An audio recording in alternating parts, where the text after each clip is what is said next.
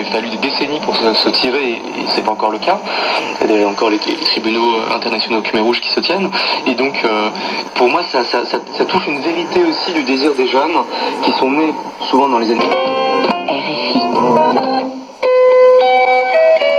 RFI parle au monde en français, mais aussi en 14 autres langues. Écoutez RFI en brésilien.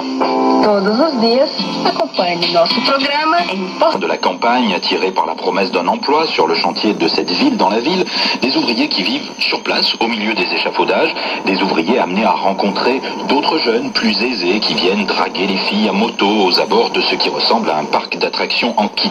Diamond Island, c'est surtout l'histoire d'une jeunesse cambodgienne qui rêve d'avenir, qui rêve d'amour aussi. Un film superbe, notamment dans ses scènes de nuit, dans la lumière fluo des néons. Ce n'est pas pour rien que Davichou admire le taïwanais ou saotienne. On pense beaucoup à Millennium Mambo qui avait été tourné dans la nuit de Taipei. Diamond Island, un film tout sauf misérabiliste, c'était l'ambition de Davichou. Souvent dans les films qui auraient par exemple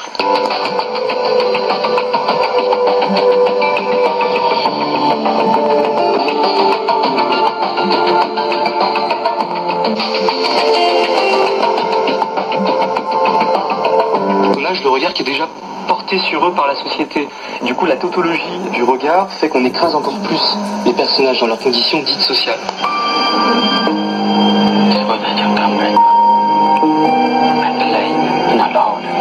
Ce que peut le cinéma, à défaut parfois de changer le monde, c'est de changer notre regard de spectateur, ne serait-ce que le temps d'un film, sur les personnages qu'on est en train de regarder. Soit là, par exemple, effectivement, des ouvriers qui ont une vie très difficile, dont on voit...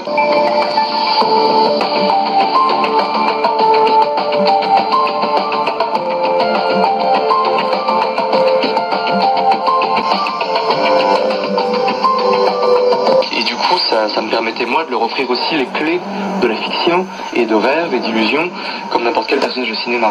Alors Sébastien, ce film, Diamond Island, c'est l'œuvre d'un jeune cinéaste de 33 ans. oui, Davichou s'était fait remarquer avec un premier court métrage intitulé tout simplement Le premier film de Davichou. Ensuite, il y a eu un documentaire, Le Sommeil d'or, dans lequel il partait sur les traces d'un cinéma cambodgien anéanti par les Khmer Rouges en 1975.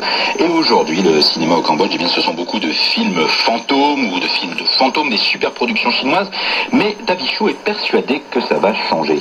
J'ai créé ma boîte de production euh, qui a vocation à produire de jeunes auteurs cambodgiens du cinéma indépendant émergent. Il y a aussi d'autres acteurs. Il y a la commission du film cambodgien implantée depuis 2009 qui a beaucoup aidé aussi en attirant